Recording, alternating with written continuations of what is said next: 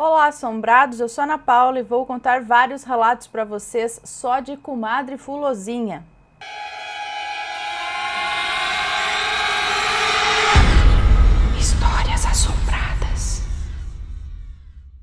Pessoal, e antes de começar esses relatos, só quero falar para vocês da Black Friday do canal Assombrado, da loja Assombrada. A gente tá com descontos de até 80% e essa Black Friday vai até domingo, dia 1 de dezembro. Vamos dar uma olhada aqui, ó, em alguns produtos e nos seus descontos. Dá uma olhada. Tem bolsa, tem eco bag a R$ 22,90, tem camisetas a R$ 49,90. Olha aqui várias a R$ 49,90, a R$ 59,90, depende da camiseta.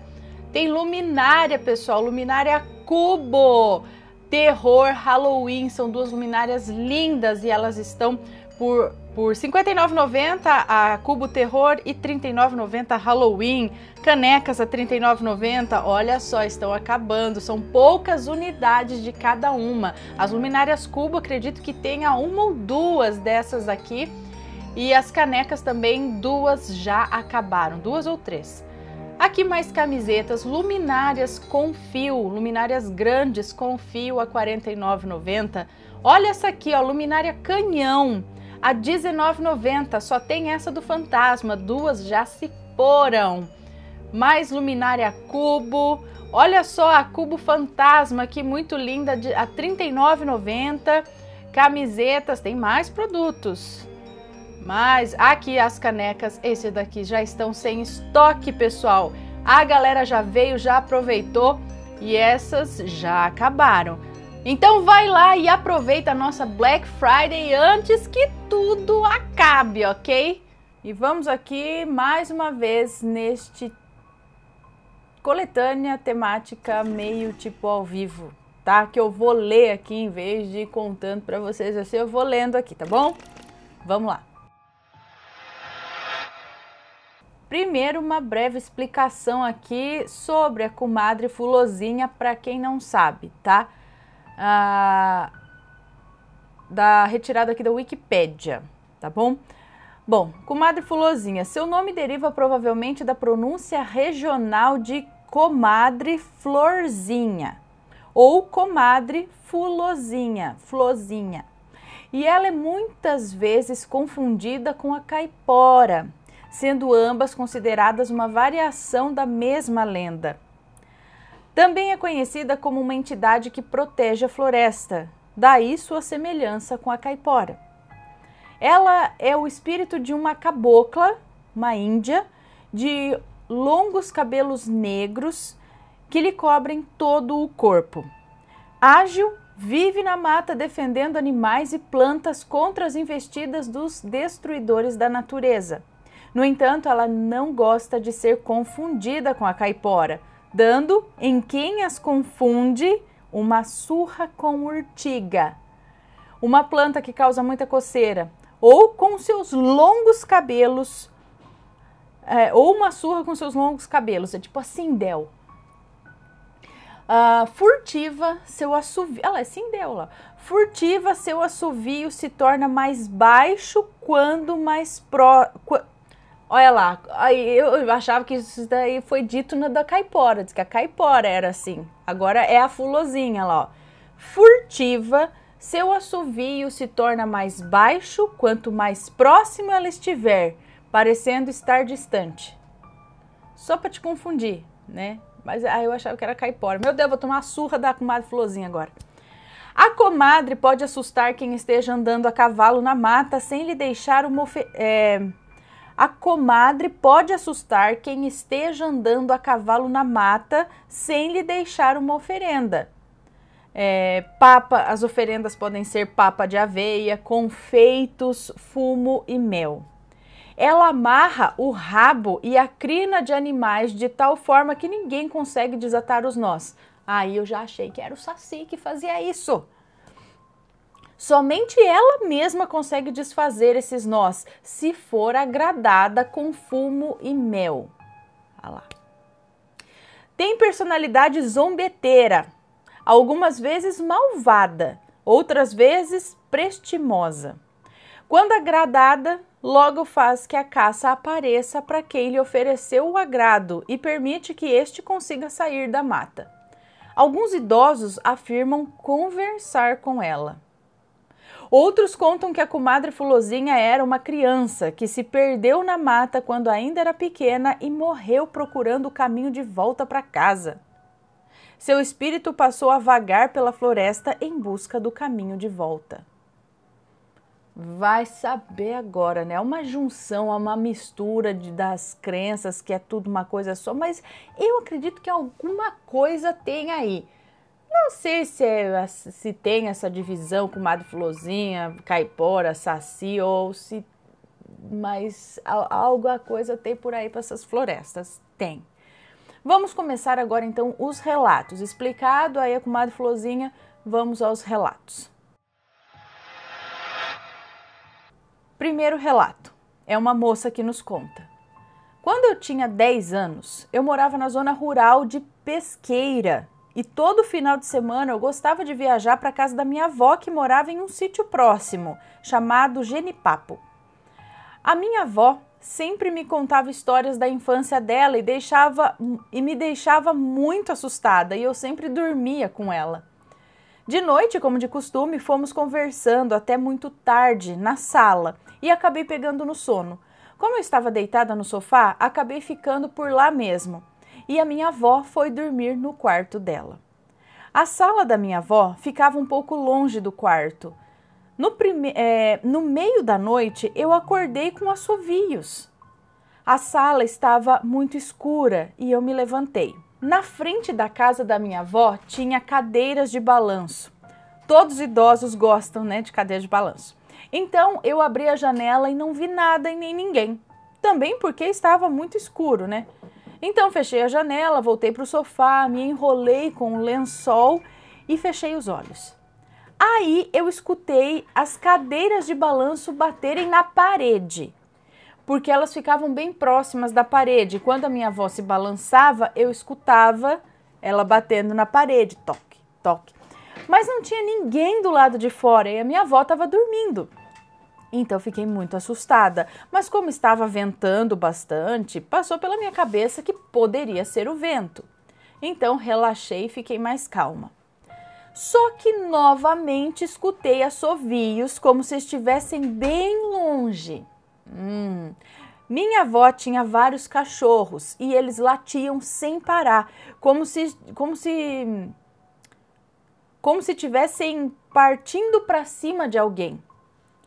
Eu fechei meus olhos de tanto medo que eu estava sentindo. A sala ficava bem perto da porta, então eu tomei coragem e fui abrir a janela outra vez. Minha avó era agricultora e de frente à casa dela tinha várias plantações, milho, alface e outros. Eu coloquei a minha cabeça pela brecha da janela para ver se eu via alguém. E como tinha outras casas por lá, poderia ser, sei lá, uns meninos brincando, mas, pô, onze e meia da noite? E ainda mais assoviando, né? Como dizem os mais velhos, não é bom assoviar. Eu corri, eu corria, eu corria a vista ao redor da casa e mirei minha vista para as plantações. Então avistei uma menina, como se estivesse nua e apoiando os joelhos no chão, ela tinha os cabelos enormes, cobria suas partes íntimas com os cabelos. Eu não via o rosto dela porque era muito cabelo. Ao ver aquela cena macabra, eu bati a janela com muita força e minha avó escutou e veio correndo ver o que era. Eu contei tudo o que tinha acontecido para ela e ela me pediu desculpas porque tinha me contado histórias, mas se esqueceu de uma que era de uma menina conhecida pelos moradores como Comadre Fulozinha. Diziam que ela é como uma protetora das matas e animais, por isso ela ficava assoviando pelas casas para que os caçadores não saíssem e fossem caçar os animais. Minha avó afirma que essa história é verdadeira. E além disso, não foi só ela que viu a tal menina. Eu também vi. Eita! Próximo relato. também da comadre Fulozinha, só que agora é um moço que nos conta essa história. O meu bisavô estava em um sítio e junto a ele estava minha mãe, minha bisavó e o meu tio. Nos últimos dias, eles estavam muito assustados com assovios durante a noite. Esses assovios eram muito fortes, então meu bisavô saiu de casa e gritou: Ó, oh, quem tiver de brincadeira vai levar tiro! E a minha bisavó retrucava o meu bisavô: Homem, oh, deixa de marmota, ela vai te pegar! Nesse momento, minha mãe perguntou: Quem é que vai pegar ele, vó? Ela contou que havia uma menina que era criada com o pai e que um dia essa menina esqueceu de fazer a comida para o pai dela. Então o pai da menina havia batido muito nela. A menina correu para as matas e acabou morrendo depois disso. Essa menina tinha se tornado uma protetora das matas e da caatinga. Então minha bisavó falou: seu avô queimou muitas matas para criar novos canteiros de plantação e a comadre Fulozinha está com muita raiva e quer bater no teu avô. No dia seguinte, pela manhã, meu bisavô saiu a cavalo para comprar pão. No meio do caminho, ele notou que os capins meio que se deitavam com o vento, formando um tapete. Depois de um tempo, o cavalo se assustou e parou. Nisso, o vento formou um redemoinho de folhas o cavalo saiu correndo, derrubando meu bisavô. Meu bisavô, no chão, sentiu uma pessoa empurrando ele contra o chão, como se tivesse alguém em cima dele. Nisso, ele ficou todo marcado, como se tivesse levado uma surra com cipó. Ele saiu correndo para casa. Minha mãe reparou que ele tinha marcas de uma planta chamada urtiga que cortava e fazia coçar muito. No dia seguinte, meu bisavô foi até a missa encomendar uma missa para a alma da comadre Fulozinha. Mas, gente, será? Tem alguma outra coisa atrás disso? Assim, não... Tá vendo? Tem várias histórias que permeiam, né? Mas não se sabe exatamente o que. Famosa comadre Fulozinha. Outro relato aqui é uma moça também que nos conta. Bom, em uma cidade do interior de Pernambuco, moravam no sítio a minha mãe, a minha avó, o meu avô e mais 12 filhos. Minha mãe era das filhas do meio. Ela tinha por volta de 12 anos quando tudo aconteceu. A vida seguia normal quando em uma manhã acordaram por volta das 5 da manhã, como de costume para cuidarem dos afazeres, e uma de suas irmãs, a de sete anos de idade, tinha sumido. Não estava deitada na sua rede e a porta de casa estava aberta, sem arrombamentos, como se tivesse sido aberta por alguém com a chave. Imediatamente começaram uma busca, todos desesperados, mas nada de notícias, ninguém tinha visto nada e não a encontravam em lugar nenhum. Foram à precária delegacia da época e um policial ajudou nas buscas, mas ela não foi encontrada. Se aproximou a noite e todos deitaram, tristes e desiludidos, mas ninguém dormiu, pensando se a menina estava bem, se estava viva, com fome, com frio. Por volta de mais ou menos três da manhã, ouviram uma batida muito forte na porta. Meu avô correu com um facão na mão e foi ver o que era. Quando abriu, deu de cara com a sua filha, que estava desaparecida. Imediatamente a pegou no colo, colocou para dentro. Todos levantaram. A minha avó foi é, a minha avó foi pegar a menina no colo e notou que ela estava fedendo muito a carniça misturado com fumo. Os cabelos longos e lisos dela estavam cortados curtos e tudo torto e cheio de nó. As roupas estavam sujas e rasgadas. Minha avó a levou para cuidar dela, dar banho, desembaraçar o cabelo. Ela disse que o mau cheiro não saiu e os nós do cabelo foram muito difíceis de tirar. Levou horas e horas. Minha avó não quis pressionar a menina e a colocou para dormir. Na manhã seguinte, minha avó a chamou para perguntar o que havia acontecido, mas ela não respondia nada, muito menos falava nada. Passaram-se horas, dias e ela não falava, nem esboçava reação alguma. A menina havia ficado muda. Não se sabe se pelo trauma sofrido ou o quê. Passados exatamente sete dias do acontecido, ela misteriosamente morreu em sua rede, dormindo. Minha avó, que morreu há cinco anos atrás, afirmava que fora um ataque da famosa comadre Fulozinha. Minha mãe diz que minha mãe diz se lembrar de tudo, de cada detalhe, como se fosse hoje, e que tudo que a minha avó falava era verdade. Mas até hoje não sabemos ao certo o que aconteceu com ela nessas horas de desaparecimento, muito menos a causa de sua morte. O médico disse que foi de causas naturais. Hum, não sei o que pode ter acontecido com ela, mas talvez não tenha nada a ver com a comadre Fulozinha. Bom, mas naquela época não fazia necrópsia, fazia?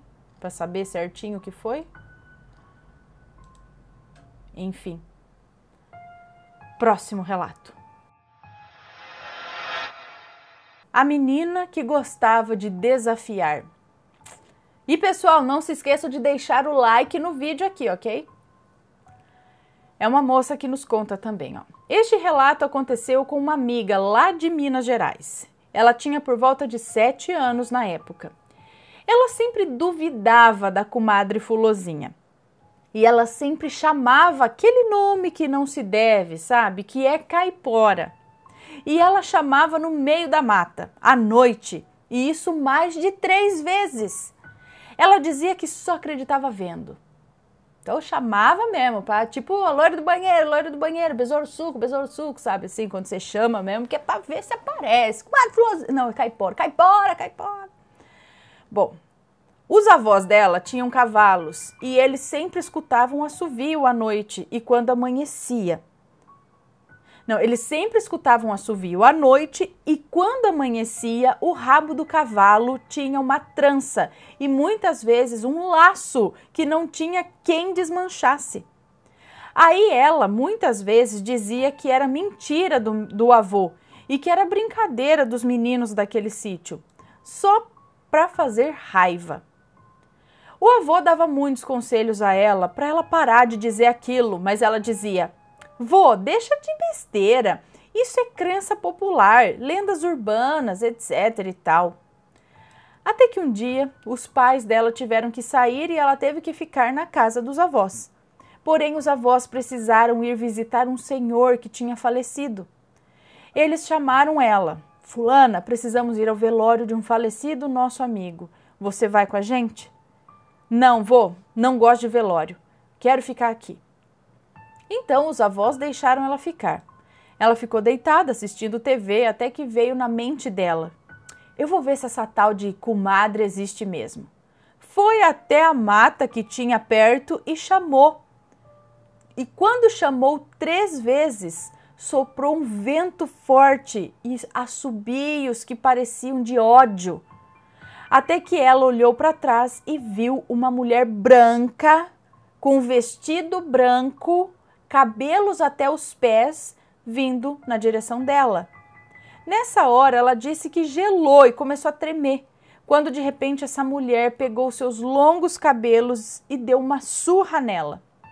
Ela começou a gritar até que os avós dela chegaram e socorreram ela.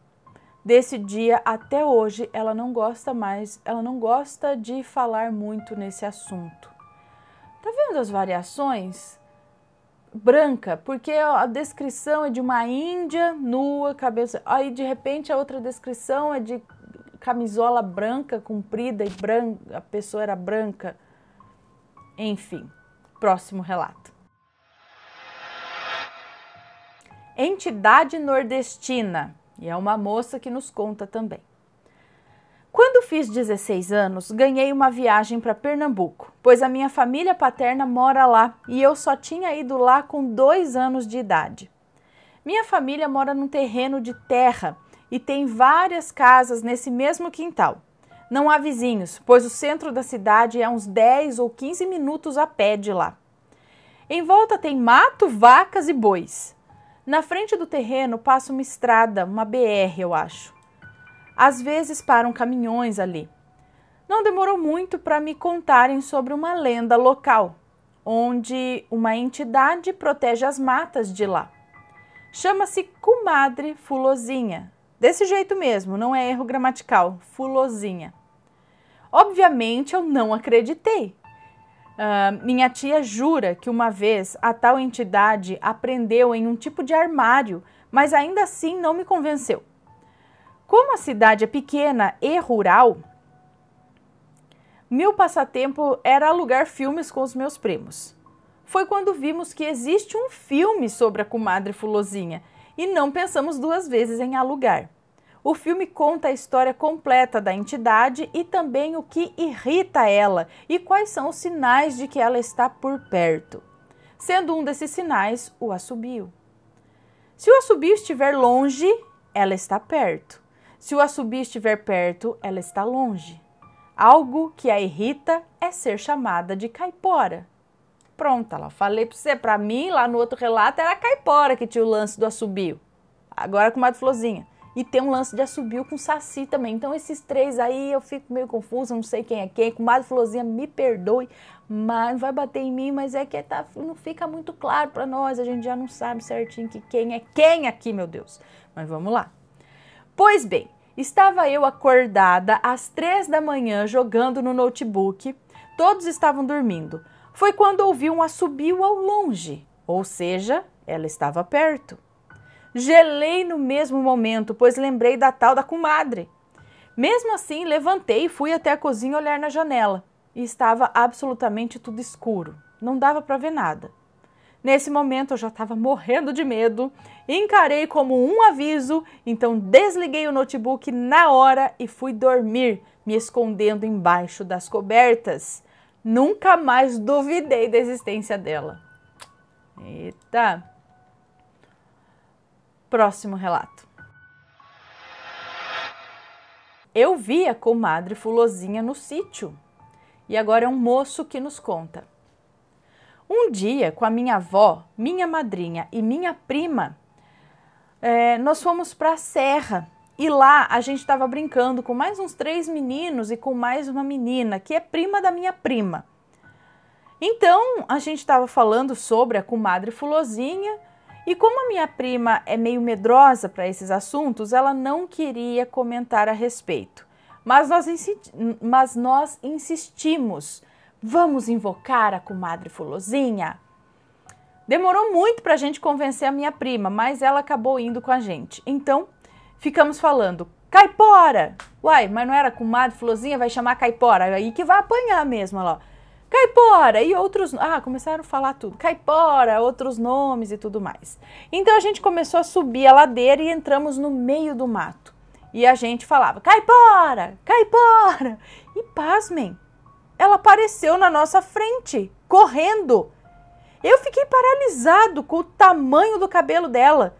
Era enorme, de 2 a 3 metros. É muito grande. A gente viu ela meio, meio longe. Eu, minha prima e a, a, e a prima dela ficamos paralisadas. Nossos amigos tiveram que nos empurrar para a gente poder ir embora. Resultado da brincadeira, minha prima nunca mais na vida quis ouvir o nome Comadre Fulozinha. Mas pera aí, era Comadre Fulozinha era caipora, meu Deus do céu. Vocês queriam evocar a, a Comadre chamando a caipora. E aí quem apareceu não sabia, mas ninguém apanhou? Porque olha, foi confundida, hein? Infância assustadora. É uma moça que nos conta. A minha família e eu somos de Pernambuco e lá há uma lenda de uma tal de comadre Fulozinha. Sempre acreditei nessas histórias dela. Mais ou menos em 2015 ou 2016, num certo dia, eu e minha irmã estávamos assistindo ao filme da comadre Fulozinha. E depois de assistir, nossa mãe nos pediu para irmos na horta que tinha, lá, parecido, hein? Também vira o filme da comadre Fulozinha minha mãe nos pediu para ir na horta que tinha lá no sítio onde morávamos. Nós duas fomos, era bem pertinho. Então a gente resolveu que ia passar o dia chamando a comadre de caipora. Vimos no filme que ela odeia isso, como se fosse uma ofensa. Para tirar a prova e ver se ela aparecia, começamos a fazer isso. Quando chegamos na horta, que no final só havia bananeira, eu fiquei no lado de fora, perto de um pé de manga. Como a gente tinha passado o dia chamando a comadre Fulozinha de caipora, do nada nós duas ao mesmo tempo ouvimos uma gargalhada meio engasgada dentro da horta. E nisso eu pensei, menina só pode estar tá me zoando. A minha, minha. Quem, com quem que ela tá vendo? A fulana só pode estar tá me zoando. Nessa hora eu corri para a casa da vizinha. E essa vizinha, fulana, vinha na minha direção. Então ela me perguntou: Tu ouviu? E eu falei: Ué, eu pensei que era você. Mas na verdade não era. Nós duas saímos correndo para casa. Ninguém acreditou, mas nós achamos que era a comadre Fulozinha, que na, que na certa estava com raiva por nós termos xingado ela. Pode ser. Próximo relato. Coisas da comadre Fulozinha. E quem nos conta é uma moça de Caruaru que tem 14 anos. Bom, este é um relato da minha avó. E não sei se aconteceu ou ela contou a três. Ah, não, peraí. Este é um relato da minha avó e três tias minhas. Quando se trata do sobrenatural, elas são muito sérias e conhecendo elas como conheço, eu sei que não mentiriam. Eu vejo no olhar delas. Hoje são mulheres na faixa de seus 70 anos. Naquela época, elas ainda eram adolescentes, tendo por volta de uns 13 anos. Naquele tempo, moravam num sítio no interior de Pernambuco. A minha tia, que aqui vou chamar de Clarice, tinha um cavalo chamado Bolinha era um cavalo deslumbrante, de pelagem marrom mesclado ao, mesclado ao branco. Os cabelos eram lisos e longos, todo mundo enaltecia a beleza daquele cavalo. Até que um dia o cavalo sumiu. Todos se voltaram a procurar o cavalo, mas ninguém o encontrava. E no mesmo dia que a minha tia, que aqui vou chamar de Aurora, também sumiu. Ao entardecer, ela reapareceu assustada Contava ela que se perdeu na mata, sendo guiada por assobios. Naquela época, aparições da comadre Fulozinha eram comuns. Até hoje não consigo decifrar, decifrar se ela é um espírito, um mito ou apenas uma lenda. Alguns dias depois, Bolinha, o cavalo, reapareceu também, magro, com uma trança no cabelo e todo chicoteado. Tentaram desatar a trança, mas era impossível, pois eram nós. Foi aí que meu querido avô, que infelizmente já faleceu e, e deixou muitas saudades, o homem cabra macho ele foi, viu, Ana? E ainda é no meu coração. Ele desvendou o mistério, confirmando que era coisa da comadre Fulozinha. Depois de tal fato, o cavalo se tornou assustado, reprimido e até meio agressivo. A minha família, quando morava no sítio, vivenciou muitos momentos conturbados com a comadre Fulozinha e também com outras coisas. Hum. Mais um relato aqui. Comadre Fulozinha veio me pegar. É uma pergunta. Comadre Fulozinha veio me pegar? É uma moça que nos conta o relato, é, tem 19 anos e é de També, Pernambuco também. Então vamos lá. Eu estava na fazenda da minha família e lá já tinha ouvido relatos sobre a comadre Fulozinha. Uma vez a minha família viu um cavalo trançado. É, e nesse mesmo dia, a empregada tinha, ouvi, tinha escutado um assobio bem fino, que ela me falou ter se arrepiado até o último fio de cabelo. Eu estava na fazenda, mas eu não queria estar lá naquele momento, porque eu estava prestes a viajar e nisso eu estava meio estressada por tudo. No primeiro dia, eu fui andar a cavalo com as minhas primas, Lalá, Lelé e Lili. A minha família, por parte de mãe, estava todo mundo lá: primos e tios, tias. Eu e minhas primas fomos dar uma caminhada longe da casa da fazenda, praticamente no bosque, onde ficava um açude. Ficava uns nove quilômetros da casa. Nisso eu já estava sentindo um clima pesado lá. Então eu falei para elas a respeito desse clima pesado. Nisso a gente decidiu voltar para casa. Quando anoiteceu, senti o clima muito mais pesado, pois eu estava querendo ir embora para minha casa e a minha família decidiu não ir. Como eu tinha que viajar, eu comecei a xingar vários palavrões. Ai, que miséria, é. Nisso eu xingava e ainda batia nas coisas. Quando chegou a hora de deitar, eu fiquei meio perturbada com uma coisa. Eu não estava conseguindo dormir. Eu fui a primeira a ir para o quarto junto com os meus primos pequenos e a minha irmã. E o pessoal estava fora no campo fazendo um churrasco, então só ficamos nós no quarto. Umas duas horas depois, a minha avó, minha mãe e o meu padrasto também vieram se deitar. Quando deu umas quatro horas da manhã, eu não estava conseguindo mais dormir e então começou o meu pesadelo. Eu não sei se eu estava tendo paralisia do sono ou se era real, porque logo antes disso acontecer, eu escutei um assobio tão fino que eu queria que acabasse logo de tão perturbador que era. Durante esse processo, eu vi o meu primeiro. Eh, durante esse processo, eu vi o meu primo se levantar com os olhos fechados, abaixar na cama como se fosse ver algo embaixo da cama e depois voltar para a cama dele. E aí, dois minutos depois, eu vi como se fosse uma pessoa andando de quatro. Como se fosse canhota. Como assim, como se fosse canhota? Com os cabelos longos e tenebrosos. Eu estava apavorada e fui logo puxando os cobertores para me enfiar dentro deles. Eu não queria ver aquela cena, mas quanto mais eu fechava os olhos, mais eu escutava o assobio dela. Não aguentava nem olhar.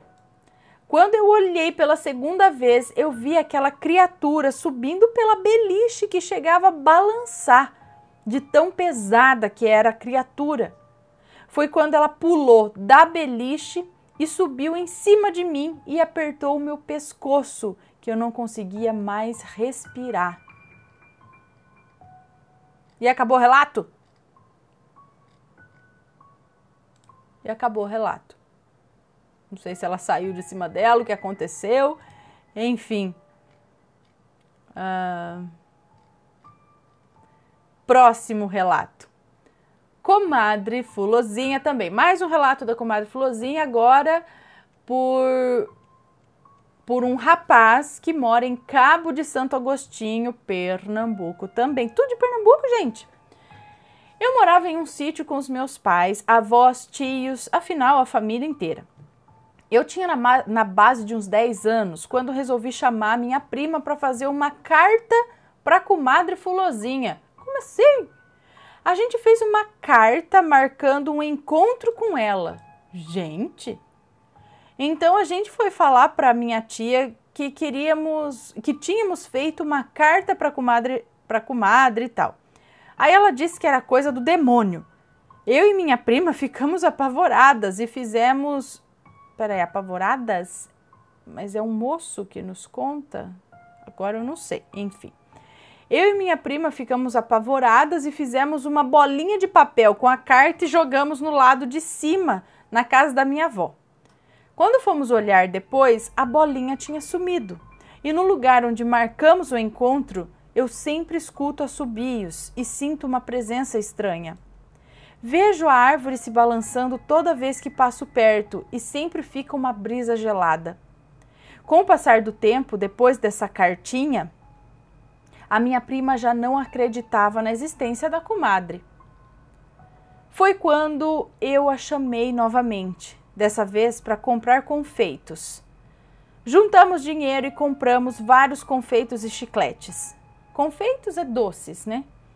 Colocamos uma parte em uma pedra perto dos matos, outra parte lá em cima da pedra, na lá em cima na pedra da mata, e o resto no rio. Minha prima voltou para a casa dela, que ficava em outra chácara rural. Eu confesso que estava muito curioso, então é um moço mesmo. Eu confesso que estava muito curioso, então chamei um primo para ir comigo olhar se ainda tinha confeitos lá. Fomos apenas no local da pedra, perto do mato e no rio, e os confeitos ainda estavam lá. Então nós chupamos as balas, os chicletes, sabe como é criança, né? Bom, depois de uns três a cinco dias, minha prima voltou para passar o final de semana na casa da avó. Eu não contei que eu chupei alguns confeitos, afinal ela não acreditava mesmo.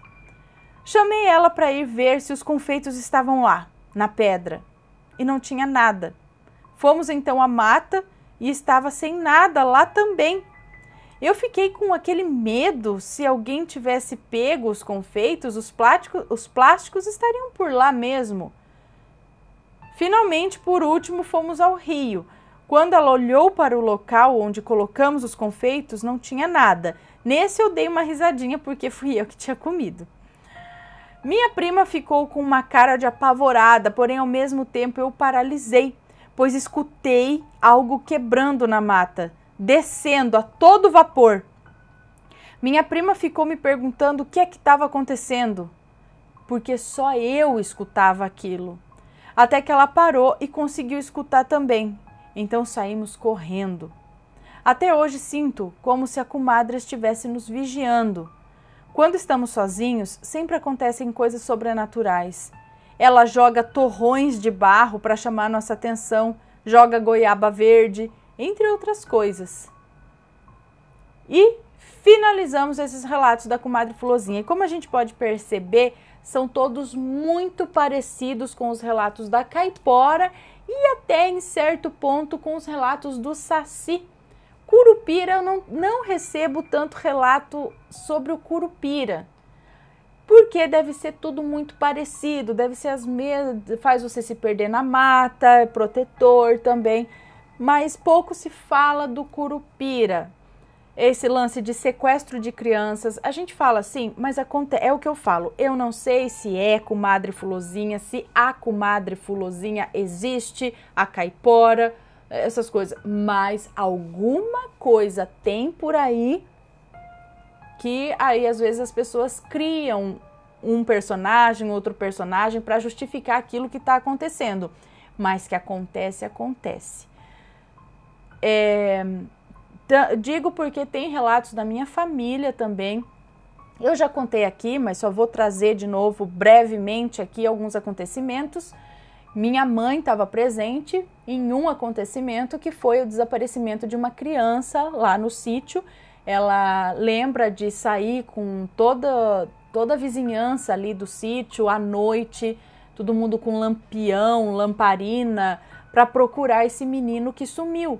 Era uma criança pequena que não poderia andar esse tanto para sumir de vista de uma forma tão rápida. E aí todos diziam que era o Saci que, que levou a criança, né? Mas, dependendo da crença ou do local, talvez poderiam ter dito que era a comadre Fulozinha. E enquanto eles estavam procurando um pé de café, tava ali no, eles estavam procurando na plantação de café, um pé de café chacoalhou. Chacoalhou bastante. Sabe como quando um, um bicho sai do pé de café, ou não sei, chacoalhou bastante. Aí eles foram até aquele pé de café que chacoalhou. E ali, sentado embaixo do pé de café, estava o menino. Ele tava, ele tinha feito xixi ali e estava sentado cercado de florzinha. Florzinha, comadre florzinha. Sabe, eram flores que estavam colocadas ao redor dele ali debaixo do pé de café. E todo mundo chamava e só que ele era muito pequeno, eu não lembro, talvez dois, três anos de idade e não soube falar muito o que aconteceu, lembrar do que foi, do que e minha mãe conhece esse homem até hoje, tá? Ele eu até falei para ela, mãe, será que você não consegue conversar com ele, ver se ele lembra de alguma coisa que foi desaparecido? É um é muito esquisito, né? É, sequestro, aí atribuíram ao, ao Saci, ao Curupira também, não sei. É, a mãe de uma colega que estudou comigo também na faculdade, ela conta que a mãe dela presenciou um caso desse mesmo tipo de uma criança pequena desaparecendo e surgindo muito longe de onde ela desapareceu, criança que engatinhava ainda e também circunstâncias estranhas. Aí já entra em sequestros. Eu estou falando dos sequestros, mas redemoinho de vento, dizem que o saci também aparece. Minha avó ali no interior aqui se falava muito dos assobios do saci, que era o saci que assobiava, e minha avó também falava da caipora, que minha avó dizia o caipora, como se é, o caipora fosse masculino, fosse uma entidade masculina alta, muito grande, do tamanho das árvores e que fumava um cachimbo. E para todos esses você tem que levar uma oferenda antes de entrar na mata. Tem mais um relato aqui também, que só vou contar rapidinho, não, não vou, né? Mas eu já contei ele aqui no canal, que foi um rapaz que conheceu a gente aqui em Rio Preto e ele contou essa história na verdade, acho que ele contou para o meu irmão e aí depois eu perguntei para ele, ele me mandou escrito o que aconteceu com ele, mais dois ou três amigos, que existia uma matinha, não sei, uma dessas cidades aqui por perto, e eles queriam pegar alguns bambus ali naquela mata para fazer não sei o que. Mas era uma mata muito pequenininha assim, que facilmente você entraria e sairia dela, assim, tranquilo. Quase que dava para ver o fim dela, do começo ao fim, sabe? Pequenininho, lugarzinho que tinha ali um bambu. E aí, alguém falou para ele, antes deles saírem de casa, acho que eles conversaram com a avó de um deles, eu não sei como foi direito, não lembro, mas alertaram o seguinte: antes de entrar nessa mata, você pede licença e diga o quantos bambus você vai pegar. E não pegue nada além disso. Aí, né, vamos falar, ah, tá bom, tá. Aí chega lá, tipo, ah, vou pegar dois bambus. Aí o outro, vou pegar três bambus. E entraram. Só que, em vez de daquele que falou que ia pegar dois, três, pegaram quatro, cinco, pegaram mais e tipo, dane-se, isso aí é crendice. Só que, quando foi para na hora de sair da mata que eles pegaram, o que quiseram pegar, não achavam a saída. Eles rodaram, rodaram lá dentro, não achava e eles viam como se fossem uns vultos, umas coisas passando. E não saía, não saía. Aí eu não sei se começaram a rezar, o que é que foi, teve nego começou a chorar lá no meio, sei lá. E aí a hora que eles conseguiram sair, já era, já estava quase anoitecendo. O tempo que eles perderam ali para eles parece que passou o quê? uns 20 minutos tentando sair daquela mata sem conseguir. Mas quando eles saíram da mata, tinha passado, sei lá, 5 horas da hora que eles entraram para a hora que eles saíram. Então ninguém soube explicar o que aconteceu mas pode ter a ver com o lance do pedido de licença, da zombaria dentro da mata. Por isso que eu falo, alguma coisa tem nas matas. É a comadre Flozinha? É o Saci? É a caipora? Ou caipora? Ou não sei quem? Curupira? Enfim. Não sei, mas que parece que tem espíritos ali na mata, ou tomando conta, ou sei lá o que, alguma coisa ali tem. Não sei que entidade que é, o que que é, mas ter alguma coisa. Outros casos, eu sei que eu estou falando demais, mas é só que minha opinião, que eu, eu fico tentando entender o que, que acontece, porque eu acredito que acontece alguma coisa. Eu não duvido das pessoas e dos relatos, eu só ponho em dúvida se é essa entidade ou é alguma outra coisa. Alguns casos eu penso se não é alguma coisa relacionada à abdução, ufologia, sabe? Outros se não são pessoas realmente que, que sequestram, fazem alguma coisa, ou em alguns casos, né? No, por exemplo, no caso do sequestro, que eu achei muito estranho a menina ser sumir, voltar em choque, porque ela estava em estado de choque, sem falar, sem reação. Algo muito traumático aconteceu com ela. Cabelo picotado, embaraçado, suja, hum, e depois morrer assim vai saber. Aí eu penso, talvez, não sei, né? Enfim, muitas coisas, e aí, de repente, o que a pessoa conhece a comadre Florzinho só se atribui a isso. Que é o, é o que a história que roda por ali, é que existe essa entidade, então alguma coisa aconteceu, foi a entidade. Foi o, né, da floresta aí. Não sei se foi a entidade da floresta, mas que alguma coisa tem aí, tem. Se você tem uma história, conta pra gente nesse sentido, tá bom? E por hoje é só, espero que tenham gostado. Um beijo para vocês, não se esqueçam de deixar o like, se inscrever no canal, seguir a gente nas redes sociais e compartilhar esse vídeo com seus amigos. Beijos e fui! Olá, membros do canal Assombrado, tudo bem? Hoje eu vou mostrar para vocês eu montando o computador que estava perdido no meio da bagunça aqui. Mandei dar uma formatada nele, ver se ele ficou bom. Aí eu fui lá buscar o adaptador, comprei um filtro de linha. Vamos ligar. Aqui, ó. Perdão, ó, Dilcelusa. Prêmio de superchat deles que eu ainda não enviei. Toda vez eu faço na correria olhando aqui e acabo esquecendo que tá aí, mas amanhã vai. Nessa sexta vai. Vamos ligar o vento aqui. E o. E preso, amor. Enroscou. Preso em você. E eu vou fazer assim, ó. O teclado ocupa muito espaço, né? Então eu vou deixar ele aqui. Aí se eu precisar alguma vez acessar aqui e trabalhar, aí eu puxo ele daqui e põe aqui em cima. Mesma coisa com o Marzi. Então vamos deixar aqui. Como é que será que vai ser esse som? Lembra do computador aqui, amor? Esse daqui? Hum, acho que lembro. Vocês lembram que ele ficava aqui, ó? Entulhado aqui? Aí eu fui tirando as coisas, fui tirando as coisas encontrei o... Oh, oh. Pois é, ele está aí. Agora, aqui. Comprei o estabilizador do passado.